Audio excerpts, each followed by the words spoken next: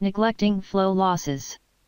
The power added to the fluid by the pump in watts is equal to the flow rate in meters cubed per second times the fluid's density in kilograms per meters cubed times the gravitational acceleration or 9.81 meters per second squared times the total dynamic head produced by the pump. Notice that the symbol for power is the uppercase letter P, while the symbol for pressure is the lowercase letter p. The pump power can also be given in units of liquid horsepower or LHP. To convert the power from units of watts to units of LHP, the watts value should be multiplied by 0.00134.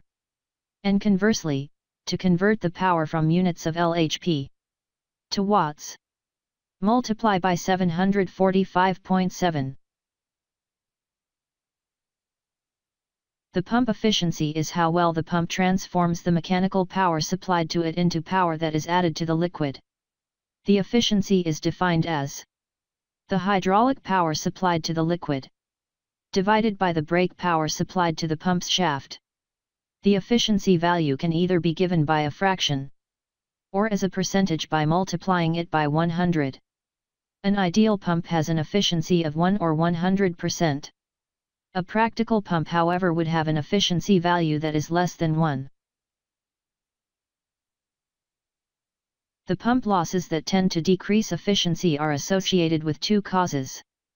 1. Operating the pump under flow conditions other than the pump's best efficiency point or BEP. And 2. Intrinsic pump losses. These can be divided into fluid hydraulic losses, fluid leakage losses, and mechanical losses.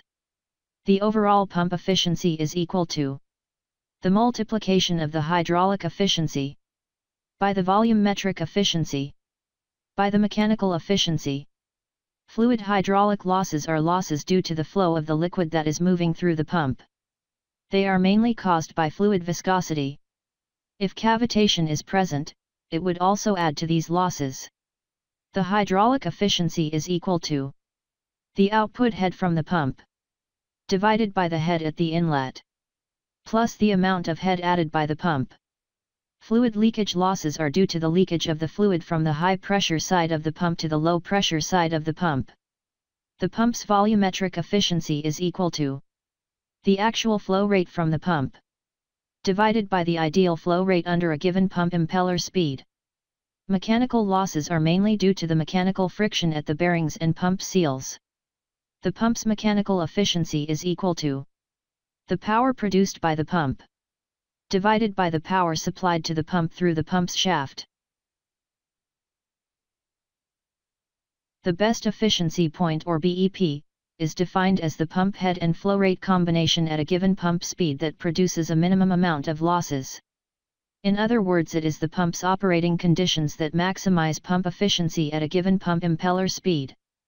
Hence as the pump speed is varied, the pump head and flow rate corresponding to the BEP will also vary. It is recommended to keep the flow rate within 80 to 120% of the BEP value to avoid problems associated with off BEP operation. Operating a pump under head and flow rate conditions that are very different from the BEP condition for a given pump speed causes many problems.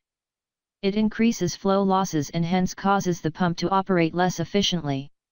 Under these conditions, a larger amount of the power supplied to the pump is lost as heat. This is an important consideration, given that in most industrial facilities, pumping systems consume 20 to 50% of their total energy input. At the BEP, the pressure surrounding the impeller of a single volute pump is nearly uniform. At flow rates that are lower than the BEP, the pressure surrounding the impeller is not uniform. This causes a large net thrust force to act on the impeller in the radial direction which increases the loads on the various pump components. The increased radial loads can cause bearing failure, pump mechanical seal failure, and failure of the pump's main shaft.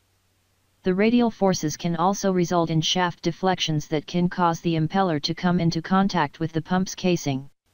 The resulting vibrations can also cause damage to other parts of the pump or to the connections between the pump and its inlet and outlet piping. Operating at off BEP flow rate values can also lead to unfavorable pump operating conditions. At flow rates that are higher than the BEP value, cavitation can develop within the pump. Under cavitation conditions, the life of the impeller and various other pump components is adversely affected due to cavitation damage. At flow rates that are lower than the BEP value, suction and discharge recirculation can occur, which decreases efficiency. In case liquids containing abrasive particles are being pumped, recirculation can increase the wear on the pump components such as the impeller and casing.